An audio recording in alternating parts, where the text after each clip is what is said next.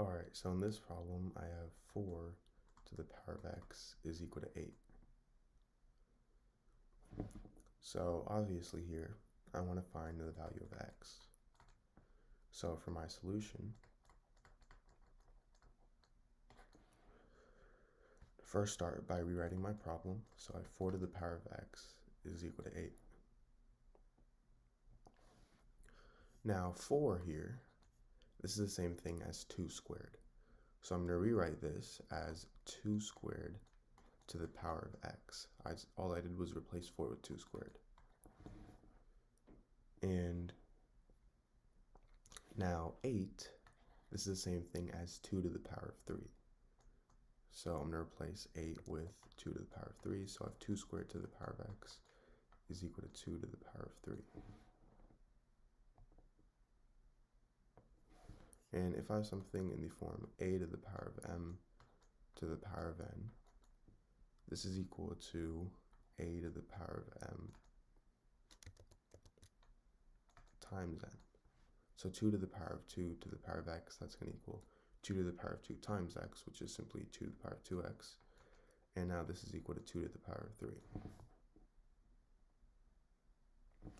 And now, if I have something in the form a to the power of m is equal to a to the power of n, this means that m is equal to n.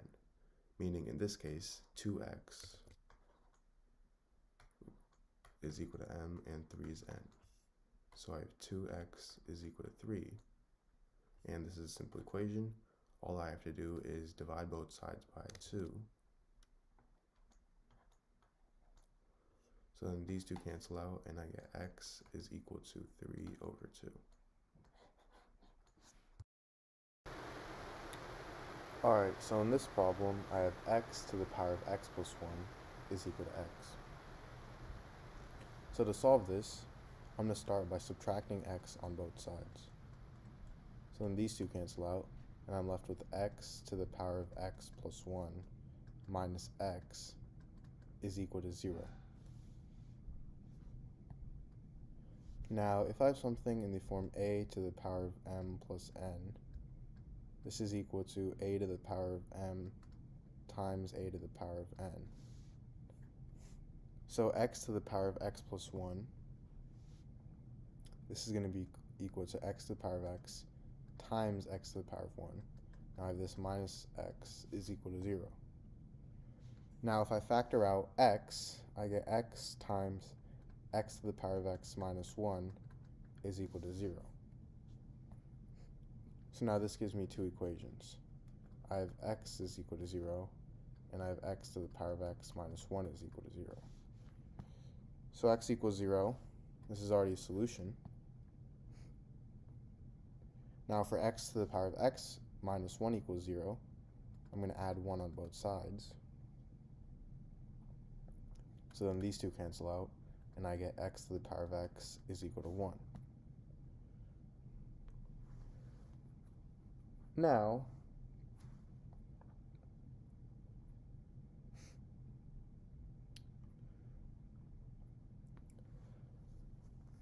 because x has to be the same number, we obviously know that, well, what number to the power of self is equal to 1? That's going to be 1, right? Because 1 to the power of 1 is equal to self. So x is equal to 1. And there's no actually there's no other number that when you take the power of itself is going to equal 1 S meaning x equals 1 is the only solution to this equation. So now to check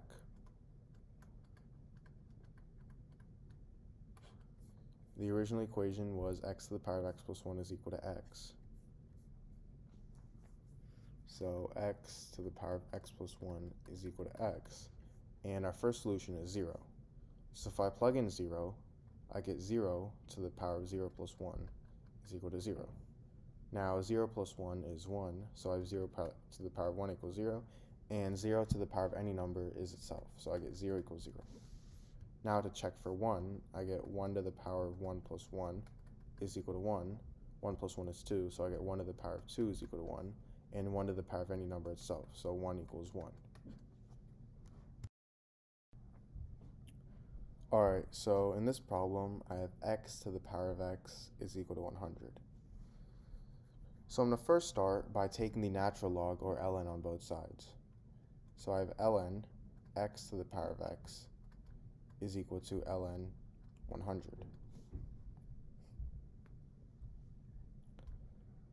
Now, if I have something in the form ln a to the power of b, I can move this exponent b to the front. So this to equal b times ln a. So for ln x to the power of x, I can move x to the front, and I'm going to get x times ln x is equal to ln 100.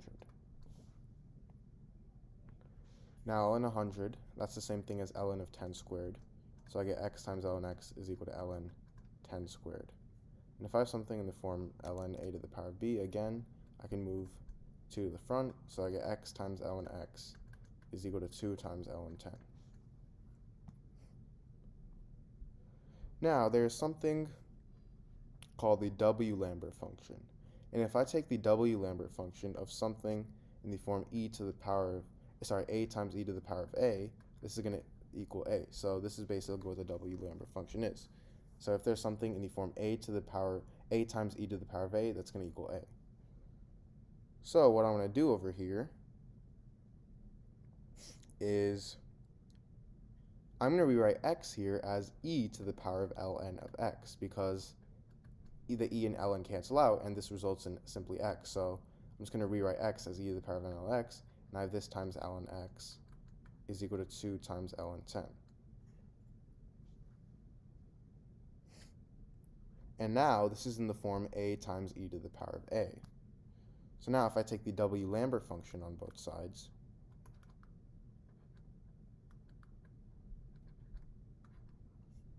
this results in ln x equaling w of 2 times ln 10.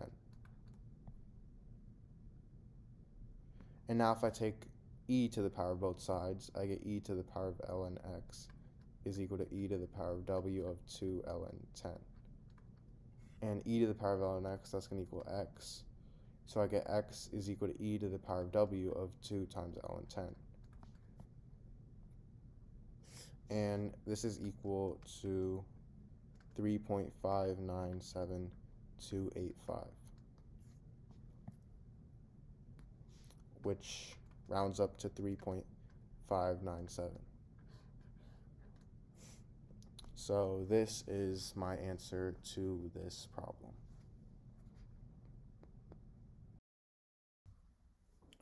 Alright, so in this system of equations, I have x squared minus y squared is equal to 28, and x times y equals 48. So I'm given two equations. Let's just say that this is equation 1 and this is equation 2. So what I want to do is find the value of x plus y. So what is the value of x plus y?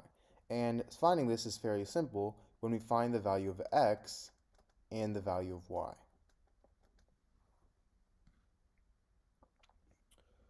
So to start, what I'm actually going to do is I'm going to use my second equation here. So equation 2 is x times y equals 48 and what I'm going to do is I'm going to solve for one variable in relation to the other. So it doesn't matter which one, but for this case, I'm going to solve for y. And to solve for y, I have to isolate it, meaning I have to get rid of this x by dividing both sides by x. So I get y is equal to 48 over x. Now, using this equation, I can plug this back into equation 1. So equation 1 is x squared minus y squared is equal to 28. Now here we got y is equal to 48 over x.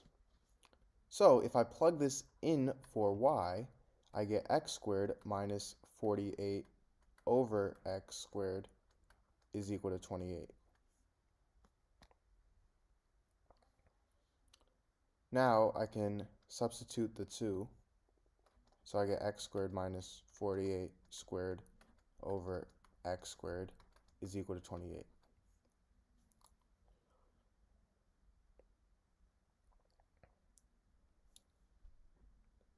Now, I'm going to multiply both sides by x squared.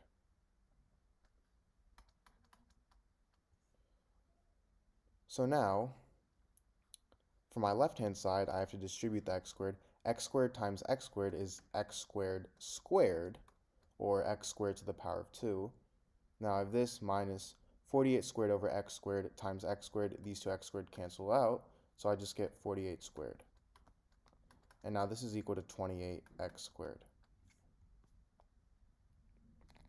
Now I'm going to subtract 28x squared on both sides. So I get x squared to the power of 2 minus 28x squared minus 48 squared is equal to 0. Now I'm going to set u equal to x squared. So I get u squared minus 28u minus 48 squared is equal to 0. And now I can solve this by completing the square. So I'm going to add 48 squared back.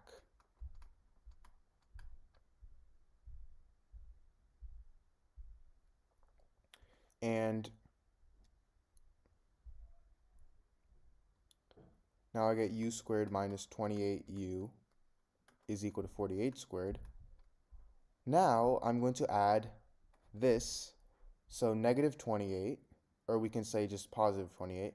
I'm going to add this divided by 2 squared on both sides. And if you don't if you guys don't know what completing the square is, you have to go watch a video on it.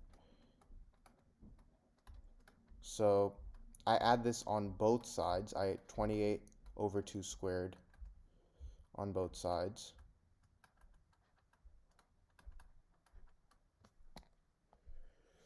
And 28 over 2 is 14, so I get u squared minus 28u plus 14 squared, which is equal to 48 squared plus, again, 14 squared. And now the reason I did this, the reason I used completing the square, was because now I can factor this out. This turns into u minus 14 squared, which is equal to 48 squared, I'm going to rewrite as 50 minus 2 squared, and 14 squared, I'm going to rewrite as 10 plus 4 squared. Now from here, u minus 14 squared is equal to 2500 minus 200 plus 4 plus 100 plus 80 plus 16.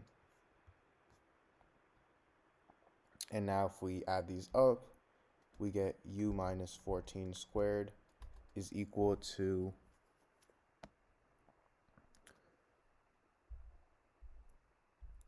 Twenty-five hundred, and if we take the square root on both sides, we get u minus 14 is equal to positive or negative 50. So we get two equations. Now we get u minus 14 is equal to positive 50, and u minus 14 is equal to negative 50. So u minus 14 is equal positive 50. I get u is equal to 64. And u minus 14 is equal to negative 50. I get u is equal to negative 36.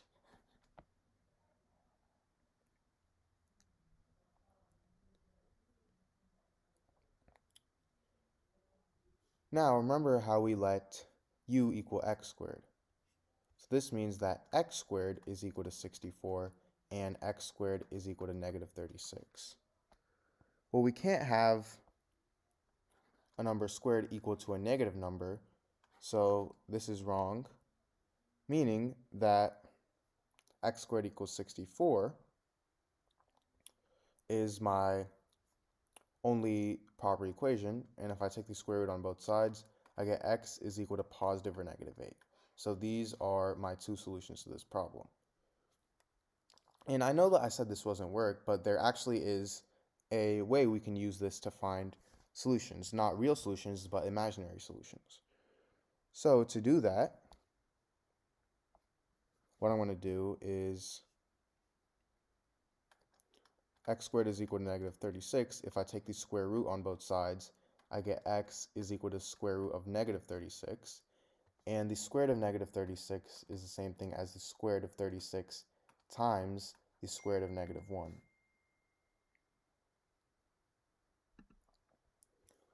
Now the square root of negative 1 is the same thing as i, so I get x is equal to the square root of 36i. And the square root of 36 is the same thing as positive or negative 6. So I get x is equal to positive or negative 6i. So these are another two solutions. And these aren't real solutions, but these are imaginary solutions which still count as solutions to this problem. So my four solutions are x equals 8, x equals negative 8, x is equal to 6i, and x is equal to negative 6i.